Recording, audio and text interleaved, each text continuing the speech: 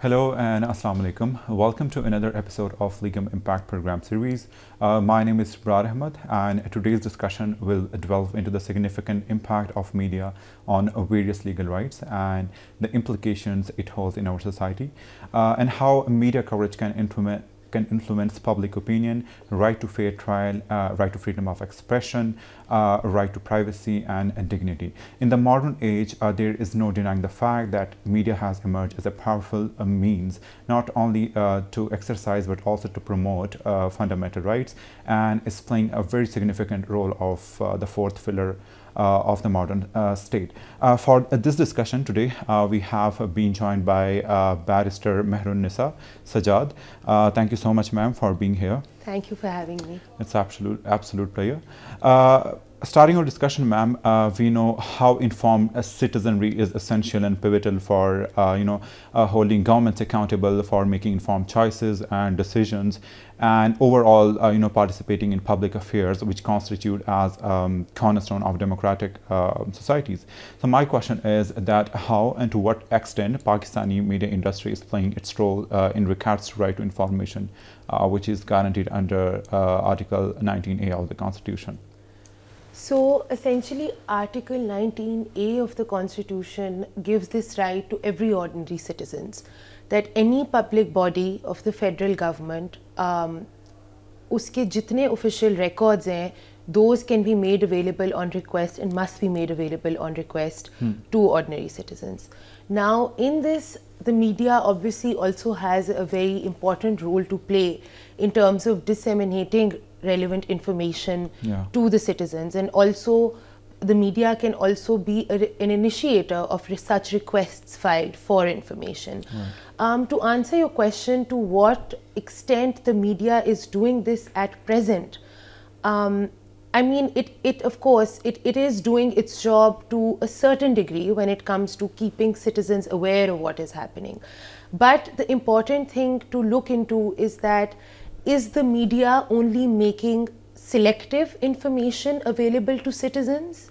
Um, information that perhaps falls in line with the agendas or the narratives of the given government at that mm. particular mm. time or certain other higher authorities that dictate the media is the or is the media acting independently and in the interests of the citizen um, unfortunately, the reality of Pakistan and um, the way that there is no separation of powers in Pakistan, that has translated into um, a system where oftentimes if the media is bringing information to light against a particular person or a particular party, this often only happens when the government of that time or the higher powers, as it were, uh, in play at that time want to demonize that particular party, that particular person, or that particular institution in the public's um, kind of perspective at that point in time. So तब हम ये देखते हैं कि media बहुत active हो जाता है in bringing this information to light. But when it comes to to answer your question simply, no, I don't think they are performing their duty um, in, in a very objective way because you see, the media has to be completely detached from any kind of politicization. Um, as a journalist, as a media channel, as a media group, your duty to the public and to your viewers is to remain objective from all the madness and chaos that surrounds you mm. and to report only facts. Yeah. But are we doing that?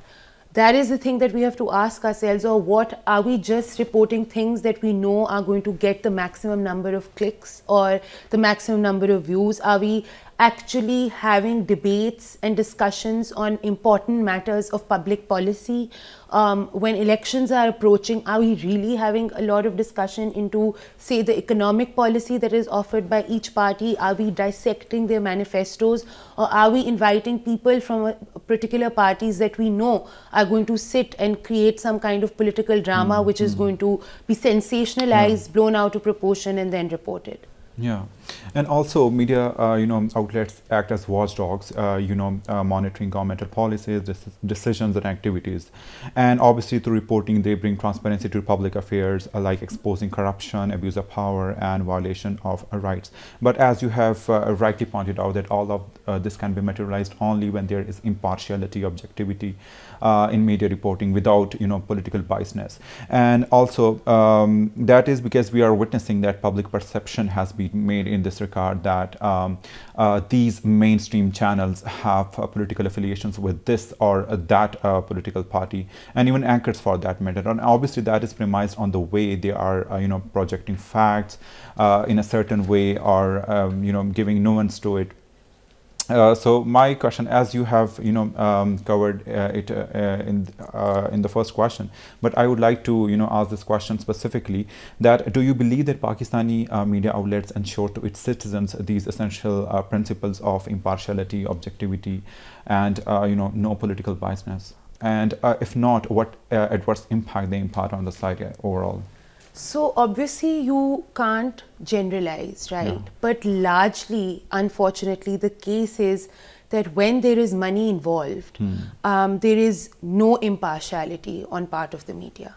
Okay. And we have seen this that even um, some media channels are run by highly influential people who do not keep uh, who do not, you know, it's it's no secret that they have mm. political affiliations. We also know, इसमें देखें um, एक there's two layered responsibility. One yeah. is responsibility on the media itself, but then it's also the government. Yeah, so the government, when you are closing down channels without warning, when you are not following the due process that mm. is hmm. prescribed in the law to regulate the content that is aired, but without warning, you are shutting down news stations, you are going after a particular journalist when they fall out of line with the narratives that you want propagated, then that's hugely problematic. True. And isme ye bhi problem aa jata hai that, and I mean, I think um, the Pakistan Broadcaster Association and the All Pakistan Newspaper Society, they um, recently they published a statement condemning all forms of coercion by any government, past or present, where they have used government um, advertising as a tool to influence uh, editorial policy. So essentially, what the government is doing then is by, you know, it's a carrot and a stick approach. You're yeah. either punishing them for not pursuing the agenda that you want them to, or you are incentivizing them to dictate your narrative. Um, and you know, this is done. We've seen journalists being harassed, we've seen them being blackmailed, we've seen them being threatened. So, I mean, despite it, it, it's, it's very easy for us to sit here and say that media channels should be operating objectively and they should withstand all kinds of pressure. But we've seen journalists go to jail.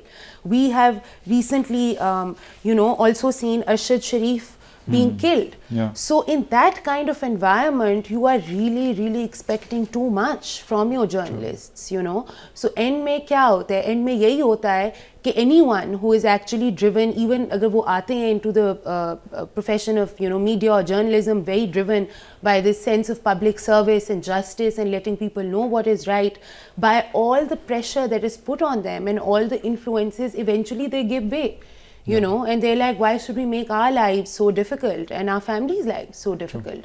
Yeah. so unfortunately no it the media does not exist impartially. And we, we know this. There's another problem here is and this ties in with the question you asked earlier about their duty under article 19a a. Media any fact or news that you are reporting, you have to verify it factually. Yeah, but source. unfortunately, there's a mentality here which is we're driven by a first to market or first mm. to hmm. break the news yeah. kind of mentality. And in this race, we are not actually verifying the contents of what we are reporting. True. You know, often, um, if even if they're reporting on proceedings that happen in a court of law, they'll pick out one comment made by a judge or by you know someone from the executive that will be taken out of context it will be twisted yeah. and it's kind of like the interpretation that is given to comments or the way that statements are taken out of mm. context it's it's almost doing their own job and duty and profession a disservice yeah. because again this is being done to create the same kind of sensationalism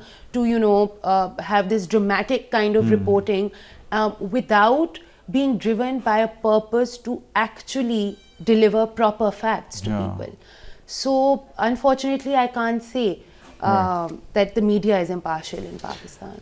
Yeah, and I mean, uh, at the end of the day, uh, media is also a corporate entity, and Yes. uh, you know the TRP mayor is quite problematic as well because uh, they focus on those things which you know uh, catches public uh, attention for that matter, and uh, it is so problematic that it can you know contribute to societal societal polarization as we are already witnessing it, like deepening divisions, Yes. uh, you know, leading public to, um, uh, uh, you know, they are misguiding public, and uh, obviously it uh, leads to um, erosion of uh, public trust and undermining the democratic pro- processes, and they can even, um, you know, uh, they can even uh, be exploited for the pro- propaganda as well. Yeah. So my next question is that what sort of uh, regulatory regimen do we have in place um, to keep uh, sort of uh, keep uh, checks and balances on these media outlets uh, in case uh, they evade these essential principles of impartiality and political biasness? So we have PEMRA and the Enabling Act for PEMRA, which is the Electronic Media Regulatory Authority in Pakistan. Um, and the PEMRA ordinance um, kind of is the enabling act for this authority. PEMRA is um, responsible for all the licensing of broadcasters, media channels, etc And they're also given oversight to kind of monitor the content that they're producing. Um, and if something, if any report or any, um, you know, uh, even a drama, for example, or a film is falling into certain categories, and these are the limits that we have on the freedom of expression, etc. Uh, इसमें अब कुछ exceptions जो आ जाती हैं national security reasons, you know, our, our uh, relationships with other states, um, statements that threaten the law and security um, situation or general conceptions of morality and also accepted standards of decency. Hmm. However, if you see all these standards or benchmarks, they are very subjective hmm. in nature. It's not objective, and we've seen them being used as a tool in the past. Hmm. And a lot of people actually have said that PEMRA should remain only a licensing authority, right? You cannot give the licensing authority the right or the powers to also censor content. And actually, if you look at the spirit uh, and letter of the PEMRA ordinance, that is, it sets up a council of complaints, right? Um, the, anything, any if PEMRA takes objection to any content that is being aired, or they want to take action against a TV channel or a particular anchor person, they have to go through the council of complaints. They have to verify the content, and then on directive of the council of complaints, they can then issue um, a show cause notice or whatever it is and start Right. proceedings to censor that. But we've seen that in the past, PEMRA has sidelined this step, right? Um, you know, the it has a two-tiered regulatory system. First, it is the Council of Complaints, and recently there's a judgment from Justice Mansoor Ali Shah and Justice Aisha Malik, which says exactly this. And they said that PEMRA cannot bypass the Council of Complaints. Right. Um, it cannot become, you know, this all-seeing, all-monitoring kind of, you know, Yeah. omni um, authority. It has to go through the Council of Complaints, and you cannot, you can't just censor um, shows or journalists, etc., taking what they're saying out of context, you know. And in hmm, this hmm. judgment, they go, go it, it's a very good judgment, goes into a lot of detail, saying that you have to look at what is the message behind something. Yeah. You can't just say that this drama will not air because it's against morality and hmm. decency in society. You have to look at the message of that. What is the message that that is sending? And also, what is a reasonable restriction? Because that's what the law says. You know, you can impose reasonable restrictions on these rights. So that needs to be defined more specifically. Exactly. In fact, some people have gone as far as saying that PEMRA, the, the, the body that looks at complaints made against any content that is aired, should be completely separate from PEMRA. Hmm. And I actually think that there is wisdom in this. Because agar aap, your regulating authority cannot be the same authority that is judging whether what content goes up and what content doesn't, right? Bilkul. And that should not be in the purview of the government. There have been suggestions made that um, a, a separate body dealing with content censorship, etc., needs to be set up, perhaps comprising of a retired judge of the Supreme Court, and also have people. The Council of Complaints also actually, its correct constitution envisions this kind of setup that you have people from all different walks of life, so that you are ensuring diversity of voices and opinions. It's not the same kind of people who are censoring one particular group of ideas. So that is the way that you ensure that there is diversity in the content, that you are doing justice to the marketplace of ideas that actually exist within your society and that you are representative. Mm. Um, and you know, time and time again, people have raised this question that the Council of Complaints, ke jitne members hain, their vacancies need to be advertised, you need to uh, put them out in the press, you need to you know, invite people from all walks of life. Mm. But we don't see this happening. In fact, we think that the Council of Complaints is bypassed, you know, it's become yeah. almost irrelevant. And we see PEMRA taking action without following the due process which is prescribed in the law. Right. Uh, also, ma'am, coming towards uh, my next question, uh, we all know, and especially the law students and legal practitioners for that matter, are very much familiar with the fact that the, how important and essential and pivotal is the notion of uh, fair trial or the notion of uh, uh, innocent until proven guilty for any judicial for any judicial system. Um, and also that accounts for uh, you know the way we uh, put trust and credibility or attach uh, credibility to any judicial system. But we are seeing on the other side that especially in high-profile cases or which uh, uh, you know um, catches public attention, uh, there are speculative you know headlines. Um, there are you know portraying image, image portraying accused in a specific images which can sway public opinion in a certain direction, even before the actual trial has taken place. Um, so do you think that um, you know such sort of media coverage uh, have uh, um, influence and uh, influence on a right to fair trial or the notion of uh, uh, innocent until proven guilty?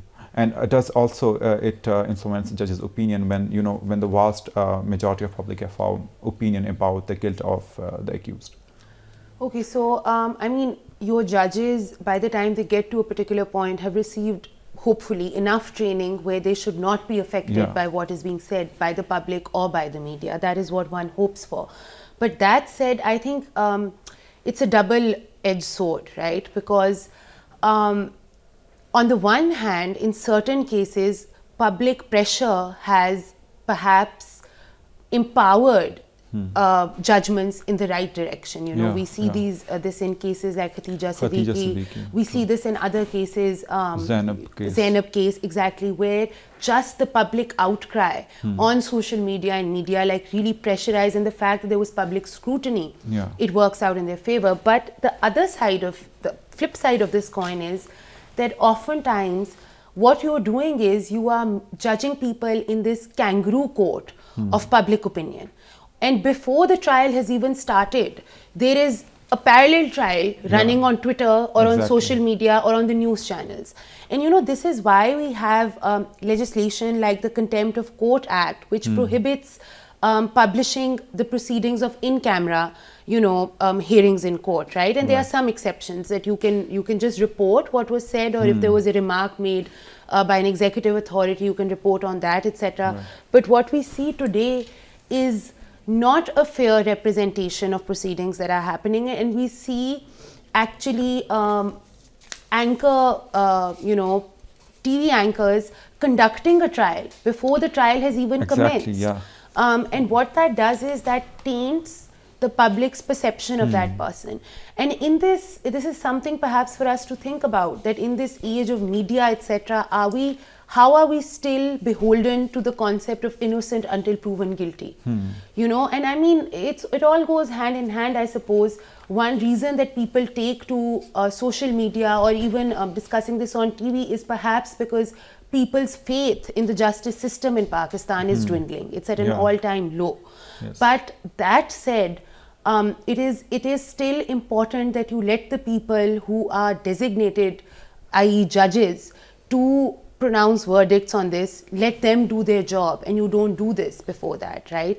There may be, the media might be reporting particular aspects of a case of information that becomes available to them or that is leaked to them. Yeah. But the entire documentation or the full picture of that case, of even facts, are not present before the public, hmm. right? So it is not a fair assessment that happens then. It's limited information that you have, but everyone wants to have an opinion, everyone wants to sound relevant, yeah. so they all must give their own input. Yes. So I think it is actually quite detrimental also. And recently, I think we've reached an all-time low where everyone has taken it upon themselves to criticize the judiciary, to criticize judges, which is actually prohibited also. I'm not saying that they are above transparency or accountability, mm.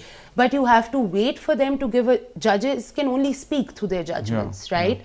Um, before that, you are, you know, by by decreasing the public's confidence in the justice system, you are doing no one any favors. Yeah.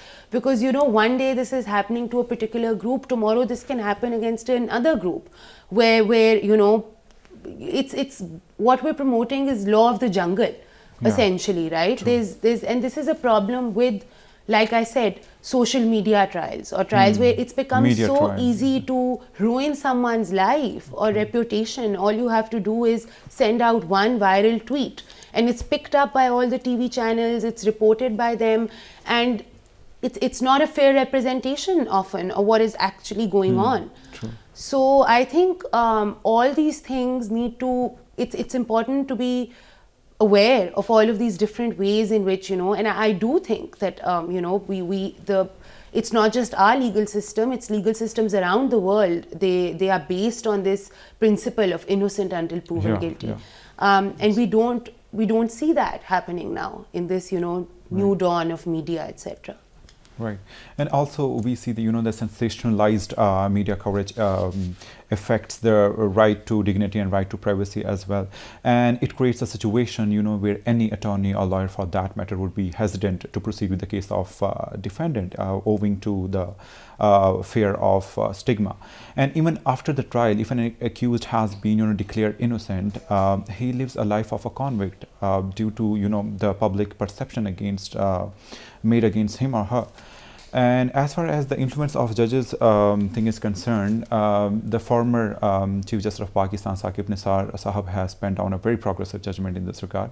Uh, like he writes in his judgment that although judges has you know this ability to ignore irrelevant considerations when uh, it comes to you know adjudicating a matter pending before uh, them, but the mere danger or uh, risk of prejudice to the you know determination of a matter pending before it is you know sufficient for a law to step in uh, to the rescue of uh, uh, the aggrieved person. Uh, like the test has been declared as a substantial, uh, you know, danger of prejudice to the substitution matter. Uh, and even this is the approach uh, you know adopted by India, UK, and US as well. That judges are not immune from the public uh, perception when uh, there is you know so rampant media coverage against the accused. Uh, and that obviously connects to my next question that uh, in Pakistan, what law uh, deals with such situation if an you know aggrieved person wants to refrain or abstain media from reporting on a specific case? So essentially in Pakistan, um, I mean, you spoke about the right to dignity and privacy of people, and there's a very uh, pertinent thing to mention there, yeah. um, which is the media disseminating illegal recordings of private citizens. Hmm. Of course, if there's something covered in the recording which is of public interest, right, then they they have a right on the balance of public interest to perhaps comment on that. But at the same time, there needs to be clarity in the law um, and in the regime of law dealing with this that can illegally obtained information be disseminated by the media. Yeah. So this includes uh, pictures or videos that are personal in nature uh, be it of a man and his wife, be it mm. of uh, be it a, a, phone conversation that someone's having that is of a personal nature that is used to blackmail people, and our media is happily disseminating this. Any that private is conversation. any private conversation, and this is a big, big breach of mm. the right to privacy and dignity of ordinary citizens. Mm. And oftentimes you see there is nothing substantial in those conversations that True. is actionable, yeah. right?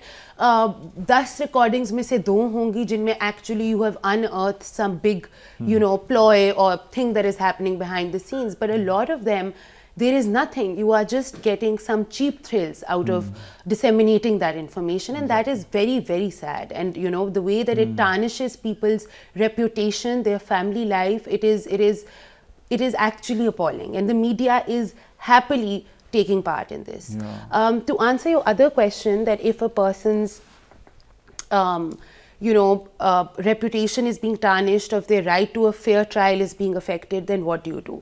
So essentially, we already have laws in place, right? We have the Contempt of Court Act. We also generally, um, the code of conduct that judges are bound by, they are not supposed to take into account any external pressure or influence while making their decisions um, in these things. But I mean, what an aggrieved person in that scenario can do is that they can um, defend themselves in the hearing in court, right? That that is the their recourse that they have. Um, other than that, if there is a particular, uh, there is something that is aired that is of particular detriment to them or that is that really violates the law, then they can take this to the Council of Complaints as well. Right. But like I said, that is pretty much uh, like an irrelevant kind of, you know, uh, authority now. And the Council of Complaints has not been empowered the way that the PEMRA ordinance um, envisioned it to Right. right. operate. Right, and also under Pakistani law, uh, such uh, you know such matters can be dealt under uh, Article 204 of the Constitution, if, if I'm not wrong, and you know Article 204 of the Constitution empowers a Supreme Court and High Court uh, to take any action or Yeah. punish any person um, uh, who you know tends to prejudice the determination of a matter pending before uh, it. Uh, also, ma'am, we are seeing that Pakistan has had a checkered history of uh, freedom of media and press, and considering the importance of media in a democratic setup or uh, um, a means to exercising fundamental rights, we also so, we also see that there is, as you have uh, pointed out uh, as well, that uh, there is um, banning media outlets tendency on the part of regulatory body, and the stated reasons or the announced reasons for that ranges from um, the government's tech tactics to you know suppress dissent and criticism uh, on the pretext of public disorder and security to uh, protection of, of uh, to lack of uh, robust legal protection. So my question is that does these uh, tactics hampers the media ability to operate uh, independently and efficiently, uh, and does it amount to infringing citizens' right to information and freedom of expression? Absolutely, because if your journalists and your media channels, which is a pillar of democracy and any democratic society, if they are not being allowed to function freely um, and they are being silenced, they are being censored, their messaging is being interfered with, then what you're doing is you're essentially only disseminating one particular narrative to the public, and that is that is a violation of so many of their rights, right? And that is basically you are setting up the democratic system for failure right? Um, and we've seen this. We've seen uh, without warning, like I said before, media outlets have been shut down, uh, channels have been taken off air, journalists are threatened, they've been forced to resign also. Just a couple of years ago, we had so Yeah. many journalists who was who had been in their publications for ages. Their publications, Dawn, was um, prohibited from um, circulation like so many times. So we have seen this, and what this does is it really contributes to that atmosphere of fear where everyone is feeling threatened and then the only people you have surviving in such a system are people who are just rubber stamping the message that is being fed to them either by Yeah. the government or from some other institution and that is what is being then um, kind of you know dealt out to the public and this again comes to the problem essentially in Pakistan is that no body, authority, or institution or pillar of the state is allowed to do its job. They, there is a reason that there's a separation of powers in the law. And if you are intermingling all of these, then essentially you may as well say that we are not a democratic state. Yeah. Do away with the free media. Don't have this pretense of being a democratic state. Exactly. Then just have all these institutions and pillars governed by one body, hmm. and you say that they'll do what I want. Because essentially, in practice, that is what is happening, and it is very, very unfortunate because you know journalists have had to bear serious, serious consequences of this. We've also seen um, it's not just taking funding away from that TV channel, etc., but we've seen this particularly in um, Balochistan, where journalists, etc., don't just not only face this kind of harassment but and censorship but there's also anti-terrorism proceedings that are started against them. You know and we've had so many of them who have just gone missing or who have just been killed and then they hmm. become a news story themselves once they are murdered. So it, it is really like a very very there's a lot of fear i think that has been instilled in everyone operating within the media industry Definitely, and I mean uh, limits have and limits will always exist. You know, um, considering uh, media is gaining importance uh, with each passing day, and you know. Um, uh, running it unregulated would be quite uh, irresponsible behavior. Yeah. But you know, banning uh, media outlets, crackdowns on journalists, uh, exactly. is the stark you know, reflection of uh, uh, state institutions' incapability and inefficiency. Yeah, and it's also, I think, if you are censoring content based on the reasonable restrictions that mm. are hmm. identified in the law and judicial precedent, yeah. that is fine. But we don't see that happening. Mm. We see when it's pushing a particular political agenda or when it's going against the narrative or when you want to stifle any kind mm. of hmm. dissenting voices or opposition within yeah. your society, that is when we're seeing all this censorship being activated.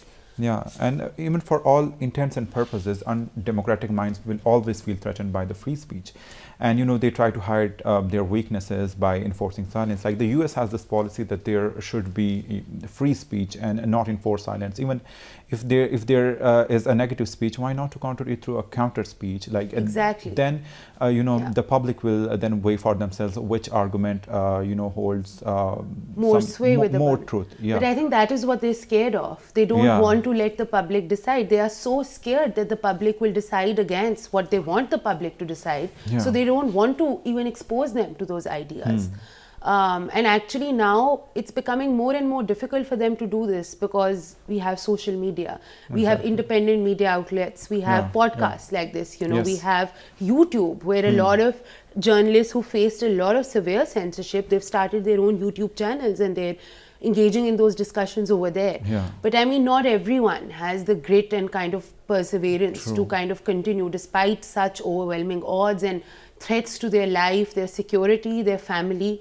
So, um, so it's it's an unfortunate environment right. overall. Right. Uh, supposing my last question, ma'am, uh, what relation exists between right to information and the right to freedom of expression? Like, how do they complement each other? So um, that's a very good question actually that you asked. So I think the freedom of expression is essentially having the right to voice, give voice to your ideas in any mm. manner or form that you deem fit, right? Uh, of course, there are reasonable restrictions and limits uh, within which you can do this. You can't threaten the security of the country or the security forces information, so on and so forth. But art is freedom of expression. Someone making a movie on a particular topic is their freedom of expression. An artist painting something is also freedom of expression. Someone writing or speaking is mm. also freedom of expression. Yeah. And to have and you know, it's like having an informed opinion. Yeah. The precondition to that is having the right information available to you. And that is the link between the right to information and the freedom of expression, essentially. That if citizens are being given information that is objective, that is fair, and that is information that they want, then the the more refined their opinions become, and therefore this feeds into the expression, right? The, their yeah. freedom to express. Um, and you know, under Article 19A, we also had the freedom of information hmm. rules. So there's legislation on this as well. Um, in this is, I think, 2013 to 14. Only two out of 46 requests that were made for public records um, were received a response. Hmm. I know this for a fact. A couple of female lawyers um, under the Right to Information Act, they wrote to the Supreme Judicial Council asking for information of the number of female uh, lawyers who had been considered for roles in the judiciary and higher judiciary hmm. never got a response. It's been months, you know. Right. And every authority, in fact, every public authority is now mandated by the law to have a, an information officer. Right. Is this being done? No. Was there a budget allocated for the implementation of this legislation? No. Hmm. In fact, you ask, and they've conducted numerous surveys, you ask most um, public bodies, and they don't even know that mm. this right exists or this legislation is, exists. And it puts those information officers under a duty to, um, in 21 days, give a response to any request that is made in the yeah. prescribed format, falling within the conditions. Right. But this is not being done. Hmm. So, how can you have an informed public when you are essentially there are blind spots and when you don't want to give them information Yeah. you only give them information selectively when you Which want favors to exactly when you want to charge them up against a particular cause then you'll give them information so that you can incite them and they can you know kind of toe your narrative on any Hmm. Yeah. given issue Uh, you have definitely highlighted a very important nexus that you know when uh, freedom of your freedom of expression will be credible only when you will have access to those cred- uh, credible information. Uh, so I guess this is it for uh, today's discussion. Uh, thank you so much, ma'am, once again for Thank you. coming and for this wonderful uh, discussion. Um, I hope you would have uh, enjoyed listening to us. Um, take care and Allah Hafiz. Thank you.